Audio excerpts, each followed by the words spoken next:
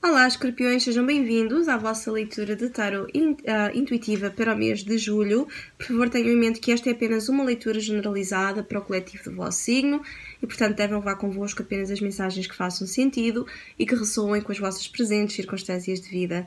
Se gostariam de ter uma consulta pessoal comigo, podem entrar em contato através do endereço de e-mail que eu vou deixar na caixa de descrição, tal como links para redes sociais e afins, onde também me podem encontrar e entrar em contato comigo. Ora,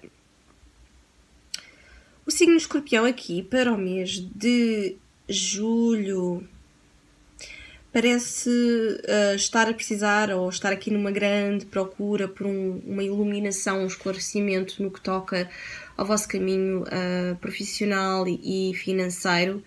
Poderão haver aqui algumas despesas, alguns gastos imprevistos, algumas oscilações, flutuações de, em termos de dinheiro um, ehm, que vos está a preocupar há aqui muito uh, empenho, trabalho, um, esforço associado à área material para levar as coisas a, bem, a, a, bom porto, não é? Sobretudo para escorpiões que já estão a passar por isto, mas é como se vocês sentissem que estão a mover pesos de, de, de montanhas, a ter que arrastar uma grande montanha do caminho para conseguirem chegar a um patamar positivo. Portanto, para muitos escorpiões há de facto aqui encargos pesados no que toca à parte material ou uma fase onde o vosso trabalho, as vossas responsabilidades uh, têm um peso maior do que tudo o resto e vocês podem sentir que não têm vida para além dessa parte de trabalho, dessa parte de estar a, tentar chegar a todo lado para que as coisas corram bem. Há aqui muitos escorpiões que seguram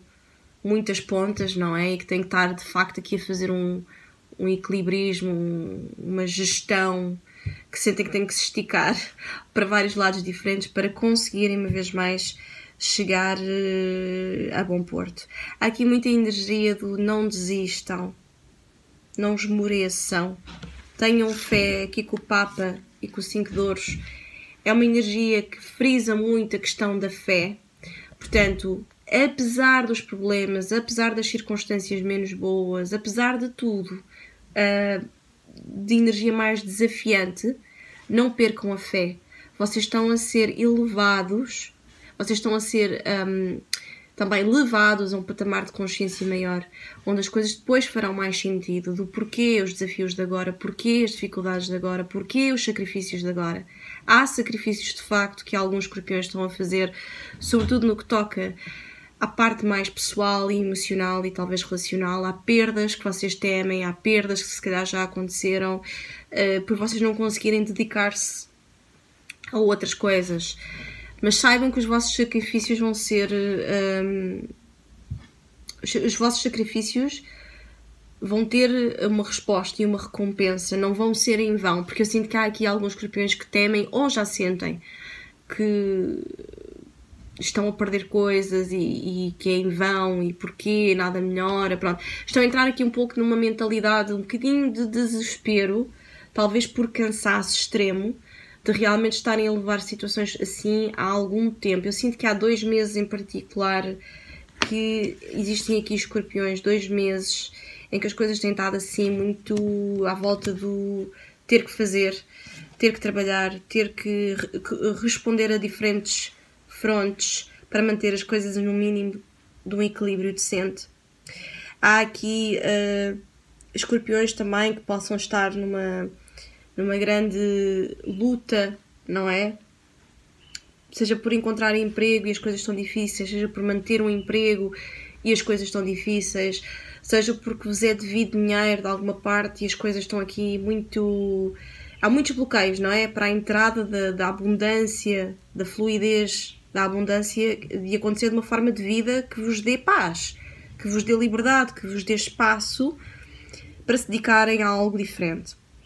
No entanto, o caminho aqui é sem dúvida o da fé. Também sinto que há escorpiões que podem ou poderiam beneficiar, se ainda não o fizeram, de uma procura uh, de alguém que tem um conhecimento talvez uh, à volta de dinheiro maior que o vosso ou de, de, competências profissionais que os possa auxiliar. Sinto que há uma ajuda externa por parte de um profissional ou por parte de, um, de uma instituição em específico que poderia vos trazer aqui respostas no mês de julho, se vocês assim procurarem.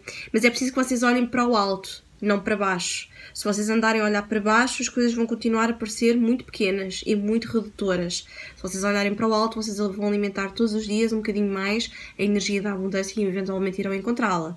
Também há aqui muita questão de este aconselhamento do Papa é um, na, na, mentalidade, não é? No vosso mindset. Que mindset é que estão a usar para o vosso trabalho, para o vosso dinheiro, para os vossos relacionamentos? Como é que estão a gerir a qualidade do vosso dia a dia?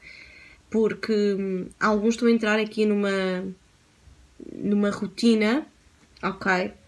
Que não é ou não tem o propósito de, de ser permanente mas pela forma como vocês estão a qualificar e viver, é quase como se vocês se sentissem escravizados a um, agora um patamar de rotina, não é? Eh, que vos parece permanente. Não tem que ser, atenção. Não interessa quais são as circunstâncias que vocês estão a viver agora. Elas não têm que ser permanentes, a não ser que vocês assim o escolham. Vocês estão a passar por, por mudanças, ok? Tem aqui dois 5 Existem de facto mudanças, sobretudo no que toca profissão, dinheiro, uh, gestão do dia a dia, rotinas, uh, o equilíbrio uh, entre o material e, e, o espiritual. De facto, há aqui muitas aprendizagens. É um caminho de um grande aprendizado para muitos escorpiões, mas também sinto que há aqui uma, uma necessidade de vocês serem, se calhar, obrigados a estar a passar por isto ou a ser pressionados de certas formas para que encontrem a energia divina. Ou seja, alguns escorpiões sem estes desafios não se iriam questionar ou elevar em termos de consciência. É como se vos a ser pedido que trabalhem numa frequência diferente, que se liguem a algo diferente, que se liguem ao vosso espírito. Porque infelizmente é quando perdemos as nossas seguranças uh, materiais, é quando as nossas muletas, não é, no mundo físico, nos são retiradas, uh, que nós nos obrigamos um, a olhar para outros caminhos, não é? Porque começamos a questionar, porque entramos aqui num desespero, porque temos medos, porque precisamos de respostas e é, muitas vezes é preciso um grande abalo ou é preciso perder coisas para nós encararmos a vida para além, não é?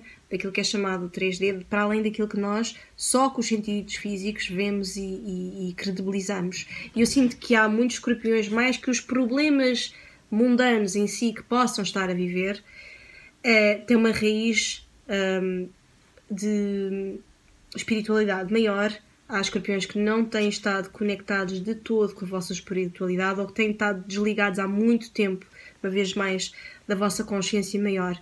E é como se tivesse a haver aqui uma grande reorganização de vida estrutural para vos ligar de novo a essa essência divina que existe dentro de vós e que depois permeia as situações da vossa vida para que elas sejam absolutamente positivas e muito melhores do que aquilo que até então têm estado a ser. Portanto, espero que tenham um ótimo mês, espero que tenham gostado deste vídeo e até breve.